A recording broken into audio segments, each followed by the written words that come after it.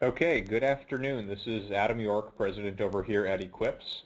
We um, are going to go ahead and get started here. We are uh, very fortunate to have Erik Gustafson presenting uh, the series on transforming financial spaces into retail spaces. Today it's best practices for touchpoint optimization.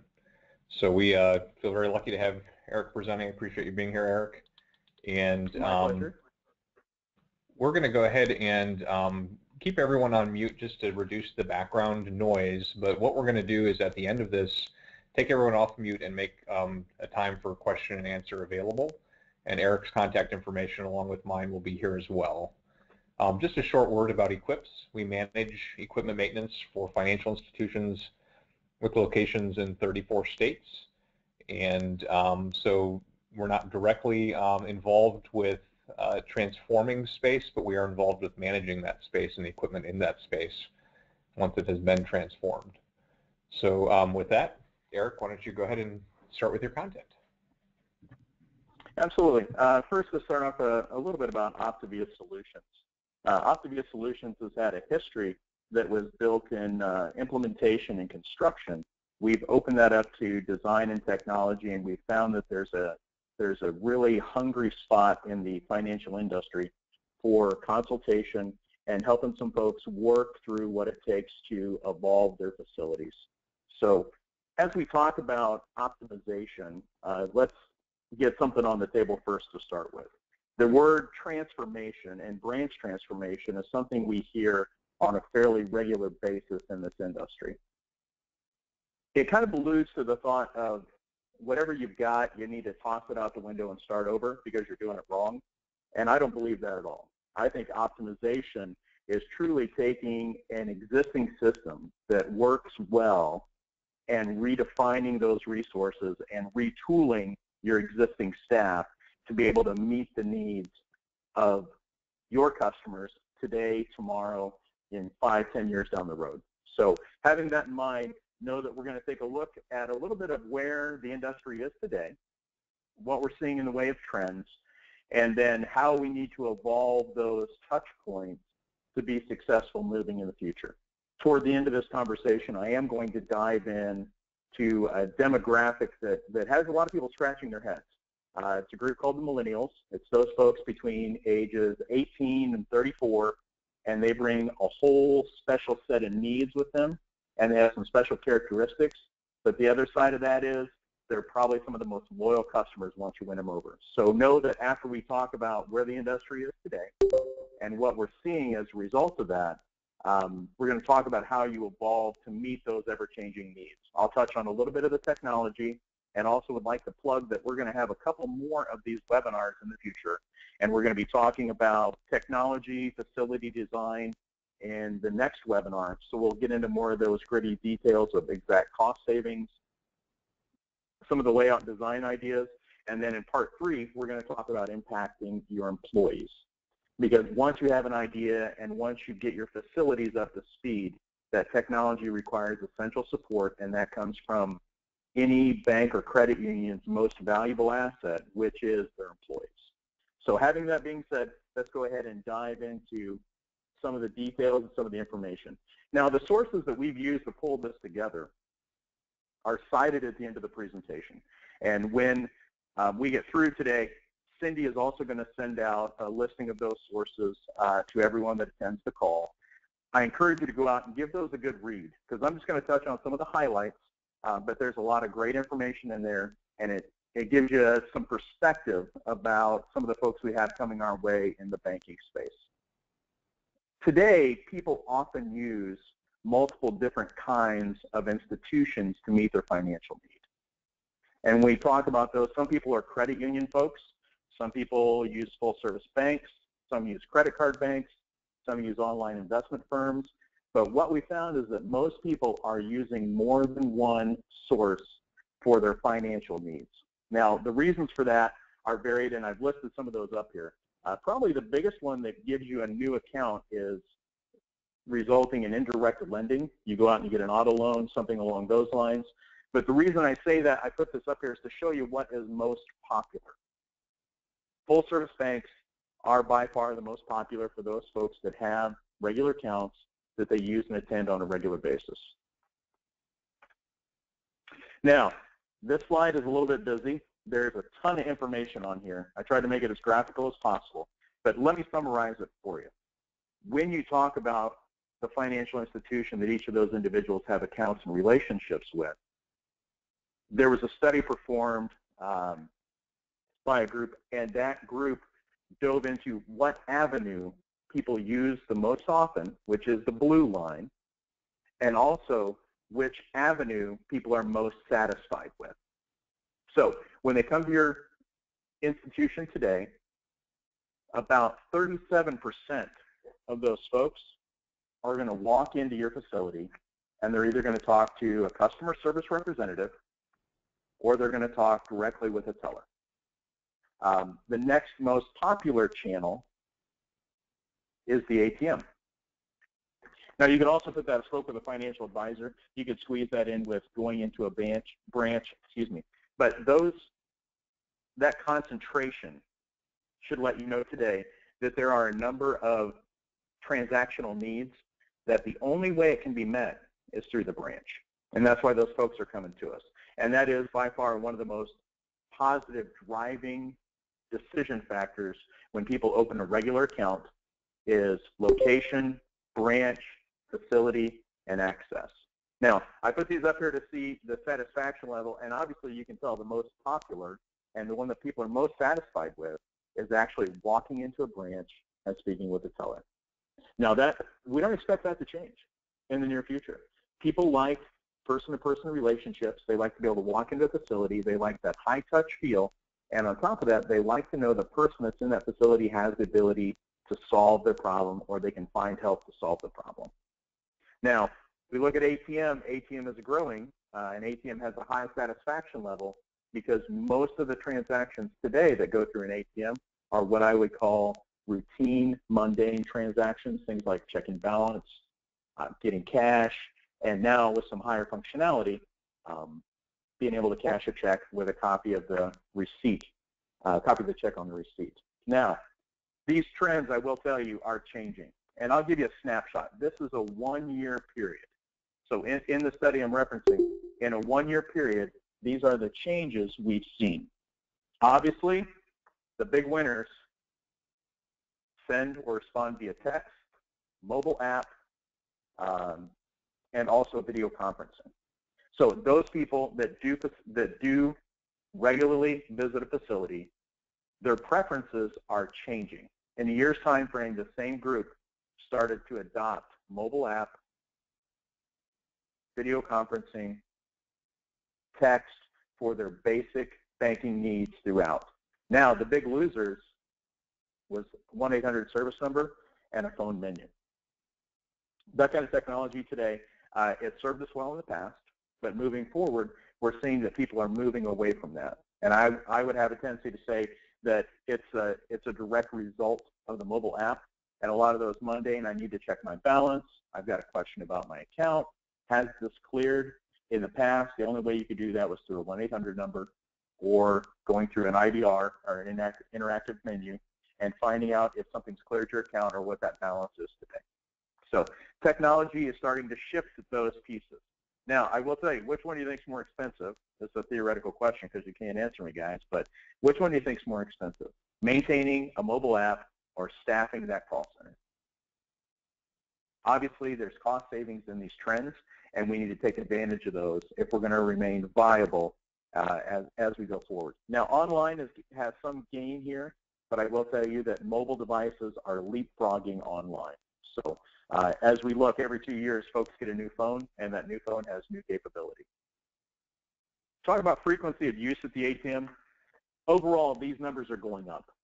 Uh, and, and I bring this up to show you that all folks use an ATM in regards to some form or fashion, but 65% say they use it a few times a month or weekly.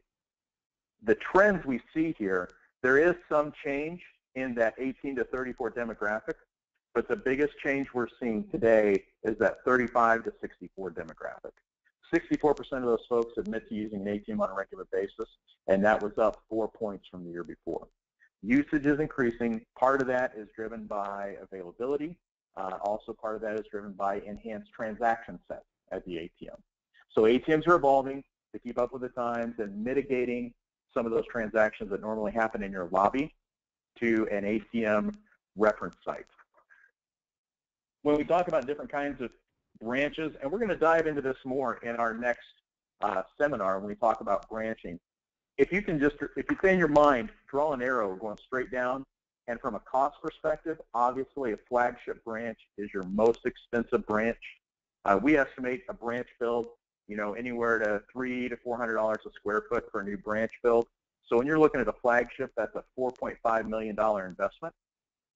And now if you go down that line, if you look at a self-assisted, self-assisted location where you've got an ATM or an inline teller system or some of those things processing your transactions for you, that initial build cost is only around a half million dollars. So technology today and the trends we're seeing today, the good news is it is decreasing the need for flagship and traditional branching, and it is increasing the need for mini self-assisted um, and the pop-up style of branching.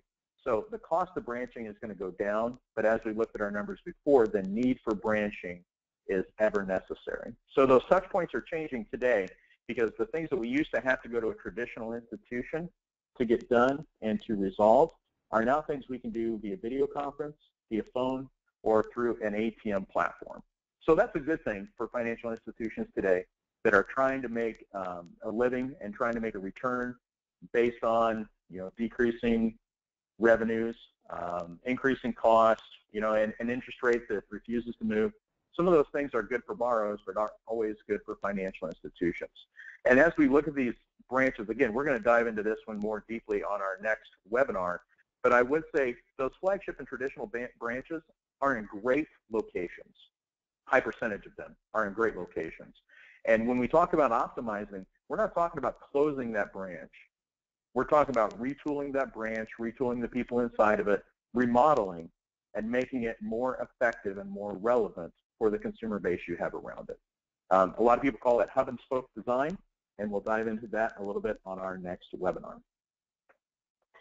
Now, when we talk about these changes in branching and configuration, one of the things that has empowered this is the evolution of the ATM. I'm not going to dwell on this a lot because we've all seen and we all know a little bit of this information. Um, when I first came into this game 14, 15 years ago, I was working for a company called Diebold, um, and they talked about branch transformation. In that time frame, branch transformation, in a nutshell, was you need to put an ATM in your lobby. No other transaction set besides withdrawals, but that's branch transformation. Now, as that ATM has evolved, the redefinition of its capability has greatly impacted transformation and optimization. So when I talk about it today, the ATMs you have today, a lot of them have upgrade paths after we went through uh, the ADA compliance. We're on a pretty, pretty level platform.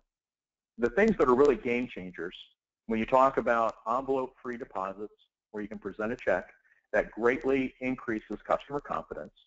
That made a huge leapfrog in regards to ATM usability beyond just standard cash.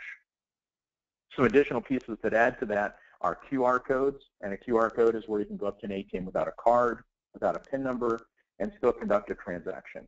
Now, those types of technologies have security concerns around them, but luckily the technology has evolved and the security protocols have evolved to, those are, to, to the point that those are now viable solutions for the ATM and viable solutions for our consumers.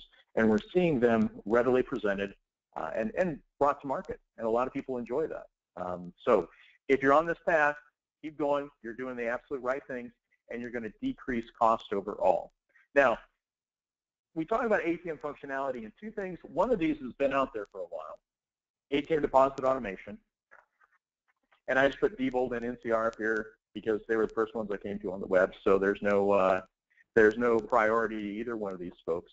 But ATM deposit automation is pretty much mainstream today. Not everybody has it, but all of our consumers are comfortable with it. They've seen it. They know how it works.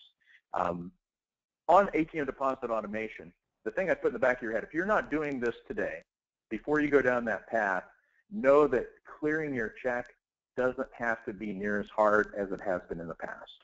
That technology has largely become a commodity. Clearing the check's the big hurdle in this case with ATM deposit automation. And ATM video assistance, uh, video call centers, the call centers that you have today, those 1-800 folks that are no longer the preferred channel, those folks still have a lot of value. They can be cross-trained, they can be converted to video. So as that channel gets less and less usage in regards to a 1-800 call-in number or your uh, well-trained help staff, that everybody has a great well-trained help staff, those people can evolve into video tellers. And that video capability adds a dimension to the ATM that we never had before. And when I say that, there are transactions that we never dreamed of being able to do via an ATM, opening accounts, um, accepting cashier's checks, printing cashier's checks, cashing you know checks to the penny. Those were all very difficult things to do, but with this kind of functionality, it makes it significantly easier. Uh, a lot of times your network can be a hurdle on these, and also some of the IT guys don't like the fact that a video-based ATM uh, will consume about a T1 worth of bandwidth connection. So there are some hurdles with this technology, but it is making adoption uh, significantly easier. The other one I'll touch on uh, quickly here is inline teller automation. Uh, this is kind of a buzz out there today. It is a self-serve ATM, or in some cases, it's an assisted self-serve ATM where a local branch person can help you. We talk about changing the branch type, this, is, this type of tool is essential to be able to move from a flagship or traditional branch to more of that cost-effective mini branching because it takes care of all the heavy lifting of what I would call low-value, high-cost transactions. The ones that take a lot of time and eat up a lot of teller space. They require you to have five or six tellers on a Friday afternoon. This type of technology buffers that and it is very cost effective. To be able to do a transaction through this type of device, you're looking at about 68 cents, where if you put it through your teller line, it's about $2.25. So every time you migrate a transaction from your teller line to an ATM or to an automated self-service device, it saves dollars. There's cost savings there. And I would also say that it increases customer service. Because in the shirt, you see the gal in the blue shirt, she's helping that individual. You get more concentrated one-on-one time with members and customers as they walk into your facility. And if you can understand a member and get to know them a little bit, you have a much better chance of cross-selling or increasing their relationship with your financial institution. It allows tellers to be good at what they do, which is interacting with your membership and that's how you grow margin, and that's how you grow services, and you grow wallet share. Now, we talk about these self-serve devices. I know a lot of people have, have made comments about, oh, I don't know if banking's ready for it. I don't know if I can justify it. I don't know if my membership will move to it. They have experience. Um, if you've ridden on an airplane or if you've checked into an airport in the last four and a half, five years, you have to use a kiosk. And if you don't, people look at you like you got a horn coming out of your head if you go up and ask somebody a question because everybody migrates to that kiosk. Uh, pumping gas today. It is rare that most people walk inside the building to pump gas. Uh, they swipe their card, they self-serve. You look at grocery stores. Those people uh, self-serve all day long. We have a we have a group of individuals in our society that will wait in line to use the self-service device as compared to going through a man station. And I mean, there's a whole pile of reasons why they do that, but industry has trained our customers to accept this type of technology. And when we do a study and you take a look at the, the just the whole question of would you try it, would you do it if a seller helped you, would you do it by yourself, overwhelming, well, about 60% said, oh, absolutely, we'd try it. And 26% was honest. 26%, 26% made the comment of, you know, I really don't know if I would try it or not. So there's, there's our swing point of 26 points. If people use it one time and they're successful, they'll try it again. If they use it three times and they're successful, that will become their primary source of interaction with your institution for something that doesn't require a body. Now, we talk about there's a need for optimization. Besides cost savings, which that's tangible, the need for optimization is a demographic we have coming up called the millennials. Uh, they're a very interesting group, uh, often referred to as the selfie generation.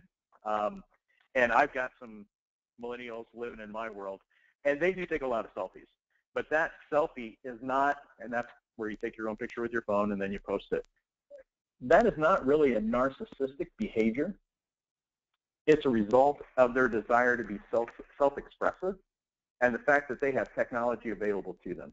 Now, when I was a younger person, I don't know that uh, I would necessarily want that kind of technology available in my life because uh, I, I had a lot of fun when I was a younger guy, and I don't know if I want a photo documented. But these folks are technology natives. This is how they express themselves, is through technology. Um, they are ethically diverse, like we've never seen in, an in a demographic before. 43% are non-white. Uh, and the reason that they are the largest percentage of the total population is due to immigration. A high percentage of these folks are first-generation Americans. 80% of them have smartphones. 34% uh, have four-year degrees or higher. Uh, and these guys love a great deal, but they will not fall for tricks because they are extremely skeptical. They grew up in a generation um, where they saw economic disappointment. They saw banks that were too big to fail. They've seen a lot of things that have jaded them a little bit, so they're skeptical. So you have to address that as you go to target these financial groups. Uh, they've also seen a lot of economic disappointment. When they hit, uh, when the millennials first joined our workforce, they saw unemployment around 12 and a half, almost 13 percent. So they're a different group. Here's some facts about uh, that should get your attention.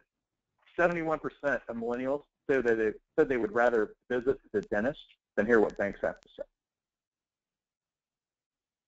73% of these folks would rather handle their financial services through Google, Apple, PayPal, Square, all those folks.